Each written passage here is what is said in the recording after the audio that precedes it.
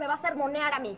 Mamá, vámonos. No le hables así que es tu mamá. Le hablo como me da la gana. Además, ella no tiene nada que hacer aquí, hijo. Esto es un problema familiar. ¿Qué hace ella metiendo la nariz en todo? Karina, ya. Alejandra tiene derechos y motivos también. Soy la novia de Enrique. Así es que lo siento, Karina. Pero si me quieres echar, piénsalo muy bien. Porque la que sobra aquí eres tú.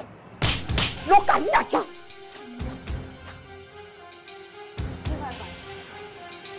Seguro que aprendiste esto en el mercado, ¿verdad? Porque eres una tipa de la calle, igual que la gente que te recogió, tú y tu abuela.